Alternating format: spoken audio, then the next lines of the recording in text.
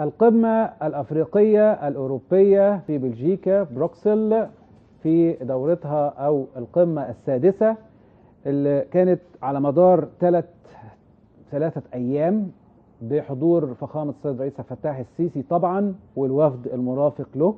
والقارة الأفريقية عايزة إيه من القارة الأوروبية بحيث إن يبقى في شراكة ما بينهم وما بين بعض في كثير من المجالات. من حق القارة الأفريقية والشعب الأفريقي اللي هو مليار 373 مليون تقريبا من الشعب الأوروبي ل 750 مليون مواطن أوروبي إن هم يساعدوهم. نقدر نساعد إزاي بعض ويحصل تنمية ونهضة للقارة الأفريقية تجاريا صناعيا صحيا تعليميا في كل المجالات. من حق الشعب الأفريقي إنه يحصل عنده نهضة وتنمية زي ما حدث حاليا بفضل الله في جمهورية مصر العربية في خلال السبع ثمان سنوات الماضية. ضيفي اللي منورني في الاستوديو الكاتب الصحفي أشرف أبو الهول مدير تحرير الأهرام مساء الخير يا فندم. مساء النور تحياتي لحضرتك وللسادة المشاهدين. منورنا حضرتك دايما بتنورنا يا فندم. الله يخليك اسمح لي إن أنا وأنا بتفرج على افتتاح هذه القمة يعني كان في كلمة لل- للرئيس السنغال آه، رئيس السنغال وهو رئيس الاتحاد الأفريقي ماكي سان لما قال في كلمته إنه في 600 مليون مواطن أفريقي في القارة الأفريقية ما عندوش كهرباء. نعم. الجملة دي لوحدها تعبر عن حالة الدول الأفريقية. تعالي حضرتك. صحيح يعني اللي قاله الرئيس ماكي سال آه، رئيس السنغال بيوضح تماما إنه أكتر من نص القارة الأفريقية أو ما يعادل نص القارة الأفريقية ما عندوش كهرباء. وده بيعكس قد إيه آه، قدر التخلف والمعاناة اللي بتعانيها أفريقيا. لأنه كهرباء معناها صناعة معناها زراعة معناها تعليم معناها صحة حاجات كتير جدا. فلم فلما يبقى 600 مليون ما عندهمش كهرباء يعني شوف حجم المشاكل اللي بتعيشها البلدان الأفريقية. نعم. طبعا في أسباب كتير لكده. أسباب يعني في دول أفريقية شديدة الفقر وفي دول أفريقية غنية بالثروات لكن الثروات بيساء استغلالها. وفي دول أفريقية فيها فساد كبير جدا وفي دول أفريقية آه، في صراعات مع بلدان أخرى وهكذا رغم إن القارة الأفريقية ربما أغنى قارة على سطح الكرة الأرضية من ناحية الموارد لكن فترة الحكم الاستعماري أثرت كتير على الوضع الحالي في أفريقيا. أفريقيا يعني عبر التاريخ ما كانتش مقسمة لدول بقدر ما كانت مقسمة لمناطق نفوذ قبائل وممالك. وكان في تداخل آه، في الحدود وكان في حركة دائمة بين البلدان آه، طبقا لل آه، يعني للقبائل وال- والأعراق وغيرها. لكن لما جه الاستعمار يخرج من أفريقيا قسمها بالمسطرة ودخل قبائل آه، في هذا البلد لهذا لذاك البلد ودخل حدود كان البعض بيعتبر إنه حدود بلده لم- لمناطق أخرى. فبعد الاستقلال بدأت الصراعات البينية بين الدول الأفريقية وفي نفس الوقت حصل صراعات داخلية ممولة من القوى الاستعمار القديم اللي كانت في أفريقيا وخرجت منها في الخمسينات والستينات والسبعينات خرجت مجبرة طبعا كان في يعني آه، دول أوروبية قليلة هي اللي مسيطرة على أفريقيا نعم. بريطانيا فرنسا ألمانيا إيطاليا أسبانيا هولندا البرتغال بلجيكا. كانت هذه الدول بتحتل كل أفريقيا بكل مواردها بكل ما فيها. خيراتها آه هذه الدول لما خرجت مش عايزة تستغنى عن ال- الثروات اللي كانت بتتمتع بيها. فبدأت تمول مجموعات معينة أو قيادات معينة وهكذا. الناس بدل ما ينشغلوا في التنمية وإدخال ال- البنية الأساسية الطرق والكهرباء والمية وانشغلوا بالصراعات. نعم. وأعتقد إنه الآن هناك محاولة بتقودها مصر لتغيير يعني مصير أفريقيا. آه، خطة طموحة مصر وضعتها وأفكار يعني راقية جدا ومتقدمة جدا منذ اللحظة التي تولت فيها رئاسة الاتحاد الأفريقي أنه 2063 يبقى فيه تنمية في كل أفريقيا. أن أفريقيا تستغل ثرواتها أن يبقى فيه آه، سلام وفي آه، هدوء في أفريقيا ووقف محاولات ال- الانقلاب و ويعني لذلك مصر بتحمل هم أفريقيا في كل المنتديات الدولية. وبتروح تقول للعالم تقول لأوروبا تقول لأمريكا علشان يبقى فيه هدوء ما يبقاش فيه إرهاب ما يبقاش فيه تطرف ما يبقاش فيه هجرة غير شرعية ما يبقاش فيه معاناة. لازم زي ما أخدتوا آه، ثروات هذه القارة على مدى مش فترة الاحتلال بس قرن آه، 19 و20 لا ده قبلها كمان فترة آم، يعني استجلاب الأفارقة كعبيد. ي- مين اللي بنى الولايات المتحدة؟ مين اللي شق الطرق؟ مين اللي بنى المصانع؟ العبيد اللي تم استجلابهم من أفريقيا. نفس القصة في بريطانيا نفس القصة في معظم أوروبا. م، وبالتالي عليكم أن تساهموا في إخراج أفريقيا من أزمتها. تساهموا من خلال مش بس المساعدات المادية لأ لازم تدريب لازم نقل تكنولوجيا لازم مساعدة في تحقيق الأمن والسلم نعم. لازم وقف التدخلات وما نعم. إلى ذلك دي من الناحية التاريخية اللي حضرتك استعرضته دلوقتي دي من الناحية التاريخية لو وصلنا ل ت- آه، 18 2 20 22 في هذه القمة مع الختام ودعوة الدول الأفريقية الدول الأوروبية أن هي تساعد الدول الأفريقية لعمل النهضة والنمو. كان ليه كان في تصريح مهم جدا لفخامة السيد الرئيس عبد الفتاح السيسي من من عدة أسابيع لما قال إنه أنتوا لما هتنموا والتنميه في القارة الأفريقية أنتوا هتعملوا سوق جديد. صحيح. ل في مليار و373 تقريبا مليون مواطن ممكن إن هم يبقى سوق كبير للمنتجات بتاعتكم وأنا بزود إنه ويبطلوا يجيبوا الحاجات الرخيصة مثلا من الصين و و و و ويقدر إن هم يستوردوا ال- المنتجات بتاعتكم يا أوروبا. صحيح. بص هو أفريقيا المساحة آه، ال 55 دولة ما يقرب من 1000 مليار و400 مليون. سوق ضخم جدا. سوق لو أنت تنشطه لو تنميه لو تخلي الأفارقة يحسنوا استغلال ثرواتهم لو تساعدهم في التكنولوجيا في التدريب في التعليم.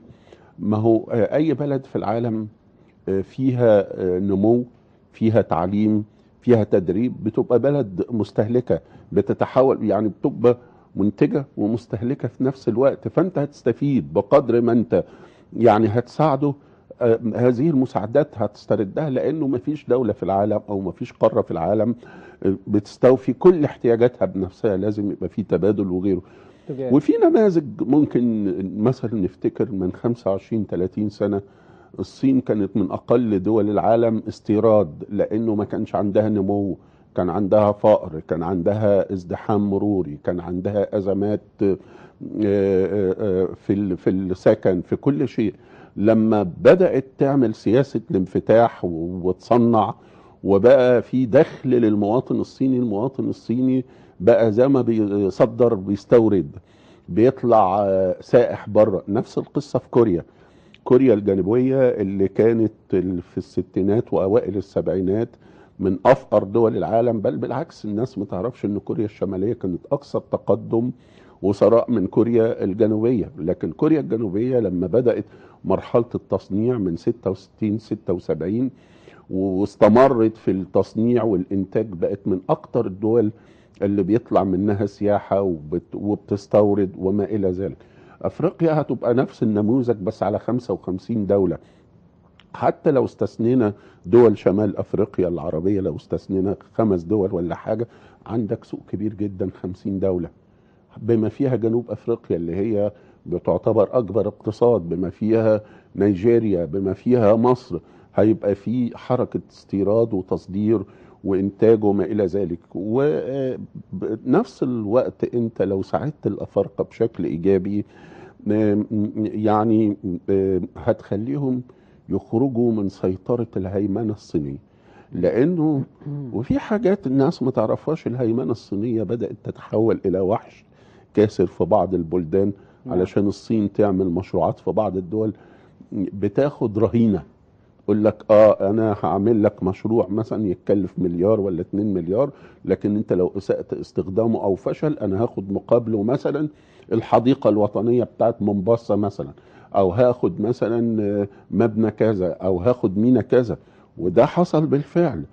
فأنت لو دخلت بدون بشكل بدون قطع كلامك وعشان كده الرئيس السنغالي رئيس ال- الاتحاد الأفريقي كان بيقول انه كنتوا لو سمحتوا ساعدونا بدون ما تتدخلوا في شؤوننا الداخلية. صحيح صحيح.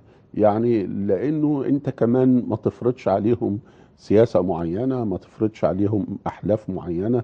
حتى المبادئ والقيم بتاعت الأفارقة مش لازم تبقى متوافقة معاك تماما. مش لازم تفرض عليهم آه، حاجات تتعلق بالأخلاق والدين وما إلى ذلك لأنه دي بتبقى حاجات متوارثة وعلشان تتغير محتاجة أجيال. ما تجيش مرة واحدة بس تقول لي آه، ما تعملش كذا واعمل كذا نعم وللأسف الشديد آه، يعني الغرب آه، يرى الدول الأفريقية بعيون غربية يعني ب ب من خلال منظور قيمه وأفكاره مش من خلال منظوم القيم والأفكار بتاعت هذه البلدان نعم. بتاعت عاداتها وتقاليدها وموروثاتها وثقافتها وكل حاجة لا مم.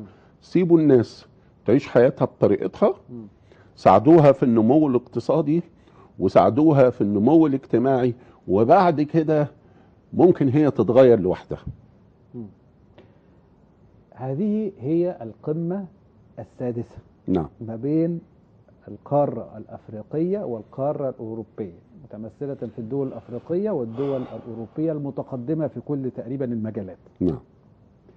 هو القمم الست أو الخمسة اللي فاتت حضرتك تتذكر في أي إنجازات بعد إذن حضرتك حصلت؟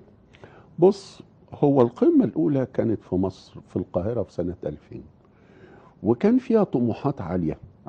وأفكار وال- واتفاق على إنه القمم تبقى كل ثلاث سنين وإنه يبقى في آه، شراكة حقيقية وفي مساعدة آه، وفي بناء وفي تثقيف وفي تعليم وفي تصنيع.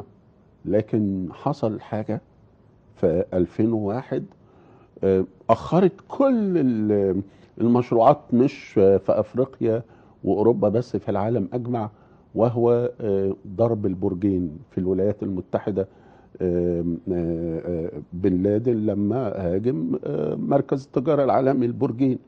العالم دخل في مرحلة صراع وبدأ مرحلة استقطاب ومش الولايات المتحدة بس اللي دخلت أفغانستان ودخلت العراق و لا العراق ودخل معاها دول أوروبية وحصل استقطاب في العالم ودخلنا صراعات اتنست قصة التعاون الأفريقي الأوروبي. وقبلها طبعا كان في التفجيرات وكان في محاولات لعمليات إرهابية في مومباسا وال يعني في أكتر من مكان في أفريقيا وظهور تنظيم القاعدة في بعض البلدان وبتاع. فتعطلت خطط الشراكة بين أوروبا وأفريقيا. في 2007 يعني تم استئناف العمل على هذه الخطط لكن معظم زعماء العالم اللي شاركوا في وضع ال- المخطط الأساسي في سنة 2000 كانت الساحة اتغيرت. رؤساء وزراء اتغيروا رؤساء حكومات اتغيروا رؤساء اتغيروا. فما بقتش القصة بنفس قوة الدفع والحماسة. حصل بقى قمة برشلونة وبعد كده انتظمت القمم كل ثلاث سنين لكن ما كانش فيه تقدم كبير.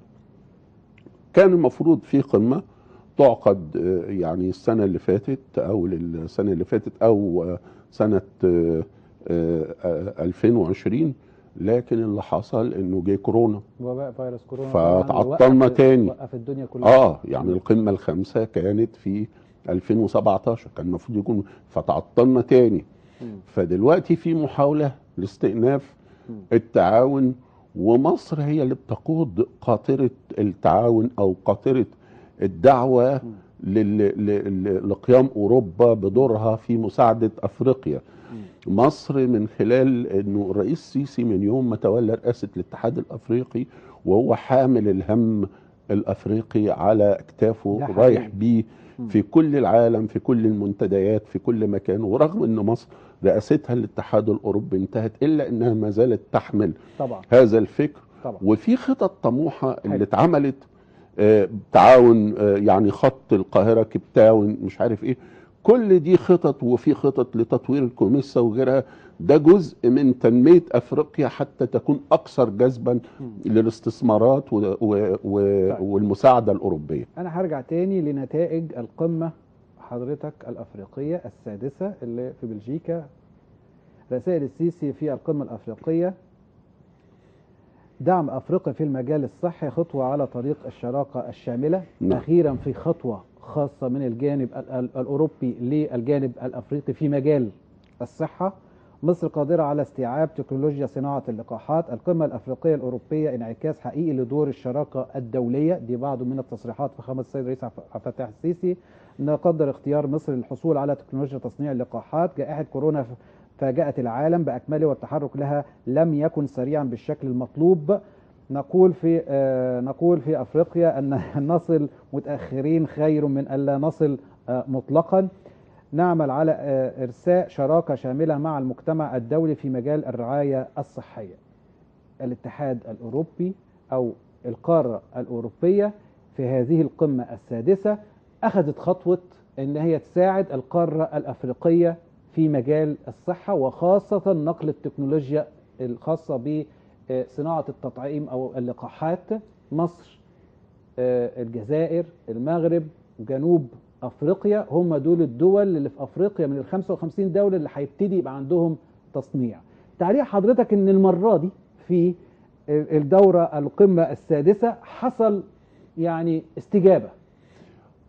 بص هو ما نقدرش نقول حصل الاستجابه بالشكل اللي يعني اللي كان مأمول لأنه آه، آه، في بداية الجائحة كان كل التركيز على أوروبا والضحايا في أوروبا ما حدش يهتم كتير بأفريقيا لدرجة إنه الرقم الحقيقي للإصابات والوفيات في أفريقيا لن يعرف ابدا. هو يقال ان الأرقام قليلة لكن ما حدش عارف ابدا إذا كانت قليلة ولا لأ. وبعض البلدان مثلا كان بيقول لك آه، بيعالجوا ال- الكورونا بالشيح مش عارف إيه بتاع زي ما حصل في مدغشقر لكن ما كانش حد عارف. كان تركيز كل أوروبا والولايات المتحدة على إن هي اللي تخرج اولا من الجائحة. وعلشان كده شفنا تصرف غريب قوي رغم الكلام عن الإنسانية والتعاون وما إلى ذلك. أول الإنسان. آه أول ما بدأ آه يعني التوصل إلى لقاحات تم احتكارها. الشركات اللي أنتجت اللقاحات قبل ما تدي أفريقيا ولا آسيا جرعة واحدة كانت مدية للبلدان الأوروبية والولايات المتحدة مئات الملايين من الجرعات. فالعالم تأخر في الحصول على هذه اللقاحات. لكن مصر لأنها دولة كبيرة ودولة قوة في الإقليم تحركت بسرعة آه، شاركت في التجارب السريرية للقاحات سواء اللقاحات الأوروبية أو الأمريكية أو الصينية أو الروسية. وحصلنا على آه، آه، يعني رخص تصنيع اللقاح الصيني في وقت مبكر وبيتم تصنيعه في مصر هنا في المصل واللقاح في فاكسيرا. وبقى عندنا إمكانية إن إحنا نعمل مليارات الوحدات. المغرب تحركت الجزائر تحركت جنوب أفريقيا تحركت. ولكن بعد كده لما بدأ الغرب يفوق عملوا آه، يعني آلية كوفاكس انه هو إيه؟ ندي للدول اللي مش قادرة لقاحات هدية. وبالفعل وزعت يعني عشرات الملايين من الجرعات على الدول الأفريقية والدول الفقيرة. وفي في ال- في القمة الأخيرة قمة بروكسل أيضا تم الاتفاق على إرسال المزيد من اللقاحات. ونتمنى إنه بالفعل يبقى فيه اهتمام ويبقى فيه يعني تصنيع حقيقي للقاحات. في قرار لدعم هذه هذا القرار. هذا القرار جاء متأخر.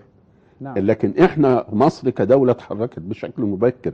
أنت بتتكلم دلوقتي على إنه ال ال ال الجائحة بدأت في أول 2020 إحنا دلوقتي في 22 كان المفترض إنه بشكل مبكر تروح عشرات الملايين من الجرعات لأفريقيا لكن نتمنى إن الأمور تسير بشكل جيد. إحنا مصر سواء بهذه القمة أو من غيرها الحمد لله يعني عندنا آه، مخزون جيد جدا من اللقاحات.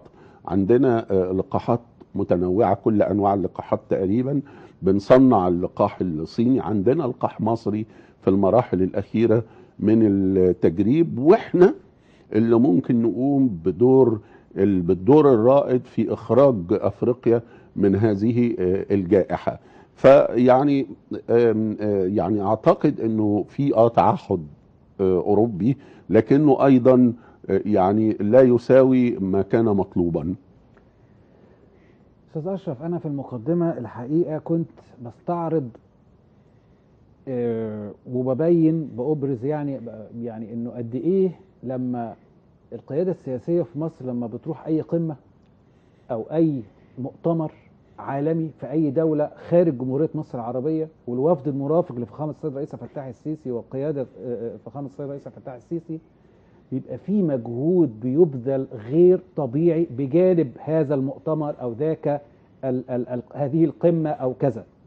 واستعرضت في خلال الثلاث ثلاث أيام دول قد إيه الوفد المصري وفخامة السيد الرئيس الفتاح السيسي كان ليه لقاءات كثيرة جدا بخصوص مثلا بيتر جان آه، آه، دونول الرئيس التنفيذي لشركه التكرير التكريك آه، البلجيكية حضرتك. آه، لقاء آخر مع آه، استقبل جان لوك ور- آه، ور- آه، مورانج مورانج الرئيس التنفيذي لشركة جون آه، كوكريل البلجيكية للصناعات الدفاعية. نعم. وهكذا.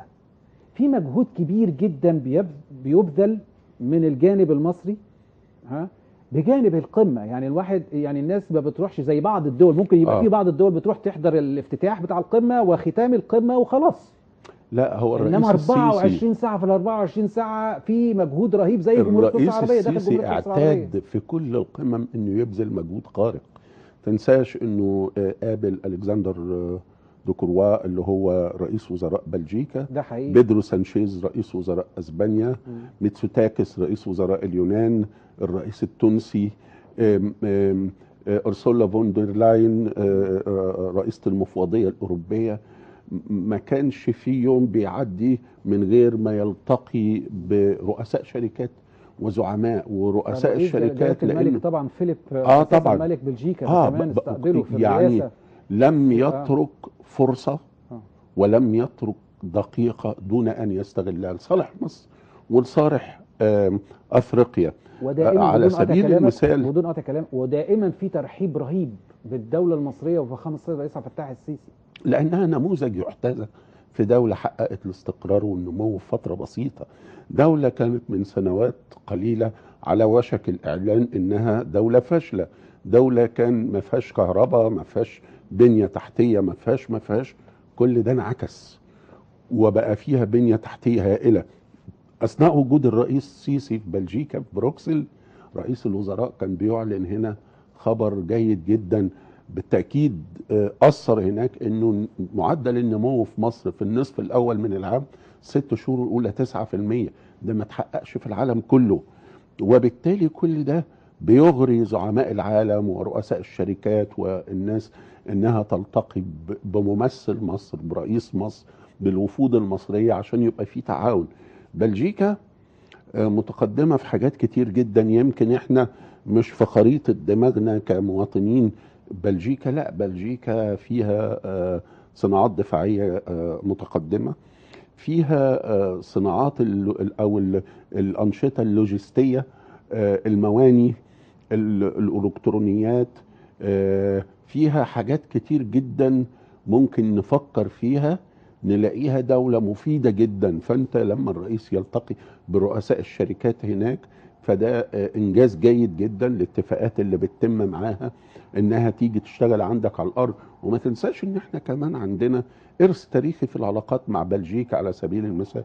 قصر الباروننبان ضاحية مصر الجديدة. ما هو اللي عاملها بلجيكيين كانوا عايشين في مصر. و- والباروننبان وولاده مدفونين في مصر وما إلى ذلك. آه، بلجيكا في يوم من الأيام كانت إحدى القوى الكبرى في العالم. كانت على سبيل المثال كانت بتحتل أغنى بلد في أفريقيا اللي هي آه، اللي هي حاليا الكونغو كنشاسا آه، اللي كانت أيامها زئير. من أكبر مصنعي الماس في العالم هي بلجيكا. صناعة المواني في العالم بلجيكا. و و ولذلك فاحنا لما نتكلم على لقاءات الرئيس السيسي في هذه البلدان مع الرؤساء والرؤساء الوزراء والملوك ورؤساء الشركات فده يعني عمل جيد جدا ومردوده هائل إن شاء الله علينا واحد من ال- الجمل اللي أنا قلتها برضو بعد إذنك في. المقدمة إنه خير من يسوق للإستثمار في مصر هو فخامة السيد الرئيس عبد الفتاح السيسي بالتأكيد لأنه هو آه، خريطة آه، التنمية والإنجاز في دماغه. هو اللي كان وراه هو اللي صنعها هو حافظها بالأرقام. ما إحنا بنشوف اللقاءات آه، والافتتاحات وإزاي إن هو بيناقش كل حاجة بتفاصيلها. ولما بيسافر كل الملفات بتبقى معاه والمسؤولين كل في تخصصه معاه. بيعرض الفرص الاستثمارية. مصر فيها المنطقة الاقتصادية لقناة السويس دي يعني منطقة منطقة جذب هائلة لأي دولة في العالم سواء لبلجيكا لأسبانيا لليونان للاتحاد الأوروبي للولايات المتحدة للصين لروسيا. أي دولة في العالم آه، تستطيع أن تستفيد من هذه المنطقة. منطقة سواء تخزين لوجستي أو منطقة تصنيع يعني الصين هديك مثال. اتفضل. روسيا ليس لها أي منطقة صناعية خارج روسيا غير المنطقة اللي تم الاتفاق على إنشائها في مصر. منطقة الاقتصادية الروسية الوحيدة خارج روسيا في مصر. وده هيبقى ليه تأثير جيد جدا وإيجابي جدا لانها هتصنع فيها مثلا معدات تقيلة آه، شاحنات وسيارات نقل آه، أشياء كتير العالم محتاجها. وينطلق. من مصر إلى أفريقيا وإلى العالم يصدر ده علشان دورك وعلشان المجهود اللي أنت بتعمله في تطوير مواني مثلا منطقة خليج السويس آه، في حوالي ست مواني هناك يعني شغالين فيهم بأقصى طاقة منهم مثلا إحنا لما بنتكلم على القطار الكهرباء السريع بين العين السخنة وبين العلمين ده مش مش قطر ركاب عادي ولا قطر نتفسح بيه لا. ده أنا بقول للعالم تعالوا هاتوا صادراتكم وإنتاجكم نزلوها في خليج السويس أخدها بالقطر بتاعي أديها لكم في البحر المتوسط الناحية التانية أوفر لكم في فترات الشحن وأوفر لكم في المصاريف اللي عايز يجوب العالم. بدون ما يركب طيارة يجي لي هنا هوت ينزل يركب القطر يعدي الناحية التانية يبقى في قارة تانية. وبالتالي المشروعات اللي مصر بتعملها مشروعات محتاجة تسويق وهذا التسويق يقوم به الرئيس السيسي شخصيا. نعم ده حقيقي ده نعم. ده اللي فعلا حقيقي بيحصل. نعم. طيب بإذن الله تعالى 2022 في نوفمبر بإذن الله مصر هتستضيف قمة تغير المناخ وعدد من كبير جدا من رؤساء الدول وملوك العالم إن شاء الله هيكونوا مشرفينا في شرم الشيخ. في هذه القمة الأفريقية الأوروبية اتفتح موضوع أيضا التغير المناخ والكثير من ال- ال- ال- الدعاوي الخاصة بإنه يا جماعة أفريقيا ما عندهاش هذا التلوث اللي بيحصل في الكرة الأرضية. أنتوا يا كبر دول كبرى ودول عظمى إذا كان أمريكا الصين و أنتوا اللي عندكم الكثير والكثير من التلوث اللي بتطلعوه عشان تغيروا المناخ في العالم. فلو سمحت قراراتكم ما تطبقوهاش على الدول الفقيرة في أفريقيا وساعدوها في إن هي يبقى عندها طاقة نظيفة زي طاقة الغاز زي طاقة الرياح زي طاقة الهيدروجين الأخضر وهكذا. بص أنا قلتها ضمن فعاليات ببساطة شديدة عشان المشاهد ضمن. فعاليات آه، القمة الأفريقية الأوروبية كان في آه، ورشة عمل عن المناخ. هذه الورشة كان يرأسها الرئيس السيسي. لأنه مصر زي ما أنت قلت هتستضيف السنة دي في نوفمبر المقبل آه، قمة كوب 27 قمة المناخ العالمي مصر بتعمل بكل قوة للإعداد لهذه القمة لتكون ناجحة. وزي ما قال الرئيس السيسي هو المعنى اللي قاله إن إحنا عايزين القمة تبقى ناجحة تطلع قرارات متوازنة وقرارات قابلة للتنفيذ. وهذا ما يسعى إليه في كل الزيارات واللقاءات الخارجية. آه هذا أيضا ما يسعى إليه آه من خلال رئاسته يعني لورشة العمل دي. ومن الحاجات المهمة قوي اللي مصر ملاحظاها إنه أفريقيا أقل قارات العالم آه تلوث. الانبعاثات اللي بتخرج منها 2% من الانبعاثات العالمية. في حين إن الصين مثلا حوالي 33% أمريكا حاجة و20% ما أقدرش إن أنا أعامل ده وأطلب من ده يدفع ويساهم زي ده. ده بالعكس أنا المفروض أساعد أفريقيا إنها تتقي أو أو إنها آه، تحمي نفسها من الملوثات اللي جاية لها من من من أوروبا ومن ومن الصين ومن الولايات المتحدة. الانبعاثات مش بس الانبعاثات اللي هي آه، نتيجة آه، الوقود الأحفوري الفحم ال- البترول. لا ده في كمان انبعاثات سببها عفوا الواردات. في واردات بتيجي من الصين أو غيرها الخامات بتاعتها خامات أساسا نسبة الكربون عالية فيها. خامات آه، رخيصة. خامات صعب إنك أنت تتخلص منها. كل ما يتعلق بالصناعات البلاستيكية في العالم هي صناعات مضرة بالبيئة لأنه البلاستيك يعني لا يتحلل. وبالتالي أنا لازم أساعد الأفارقة إن هم لما يعملوا عملية تحول للصناعة يبقى في يعني آه، مراعاة للبيئة. يبقى ولما تجيلهم صادرات أو واردات من من أو يبقى وارداتهم من بره ما يبقاش فيها أو ما تساعدش على التلوث بشكل كبير. وفي نفس الوقت كمان أنا عايز في القمة اللي أنا هستضيفها هنا في قمة كوب 27 إن أنا لما آخد قرارات بخفض التلوث الدول تنفذها. ما تجيش تقول لي لأ أنت عايز تقفل لي مصانع أنت عايز توقف إنتاجي لأنه الصينيين دايما لما بيجي الأمريكان يقولوا لهم أنتوا اللي بتلوثوا العالم يقولوا لهم لا إحنا مش هنقفل مصانعنا إحنا مش هنحول إنتاجها. لكن أنت تقدر تساعد أفريقيا على إنها في فترة من الفترات تتحول إلى السيارات اللي تعمل بالكهرباء زي ما مصر بدأت خطة تحول. تقدر تساعد أفريقيا إن يبقى عندها فلاتر في مصانع الأسمنت فلاتر في آه، محطات تكرير البترول. وما إلى ذلك. مجهودات كبيرة بيقوم بها الرئيس السيسي بحيث إنه يبقى في نتائج متوازنة للكوب 27 وفي نفس الوقت نراعي احتياجات أفريقيا. وطول الوقت إحنا عايزين نضرب مثل في هذا التغير للطاقة النظيفة. وفي مجهود كبير قوي الدولة المصرية بتقوم بيه بقالها فترة. صحيح. الطاقة النظيفة إحنا آه، يعني عملنا أكبر محطة في العالم للطاقة الشمسية محطة بنبان. في أسوان. عندنا المحطة بتاعت الزعفرانة طاقة الرياح.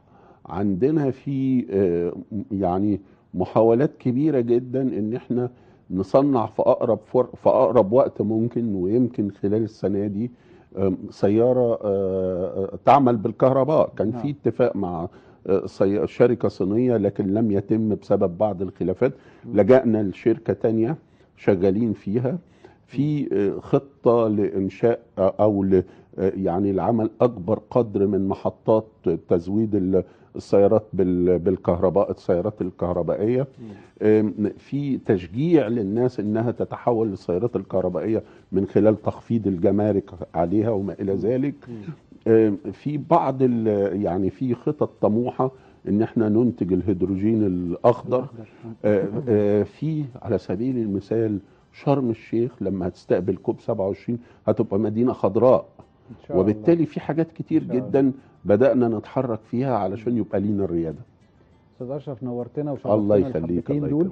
وجيلنا تاني إن شاء الله قريبا الله نتشرف بإذن إن الله شاء الله. تعالى آه، الكاتب الصحفي أشرف أبو الهول مدير تحرير الأهرام نورتنا وشرفتنا. شكرا تحياتي لحضرتك ده كان يعني حلقتنا النهارده في صفحة جديدة. أنا مع حضراتكم بإذن الله تعالى بعد بكرة يوم الاثنين وإن شاء الله نفتح صفحات جديدة مع بعض. أرجوكم برضو لسه ما زال ال- الكمامة والتباعد وغسيل الإيد والتطعيم. أرجوكم عايزين نوصل ل 70% من سكان جمهورية مصر العربية يكونوا وصلوا للتطعيم عشان ناخد نفس القرارات اللي ابتدينا نسمعها في بعض الدول الأوروبية وأمريكا إن إحنا نقلل شوية من المشاكل الخاصة بالإجراء هذه الإجراءات يعني ويعني نعيش نوصل يعني نحاول نوصل لحياة طبيعية قد ما نقدر يعني. تصبحوا على خير.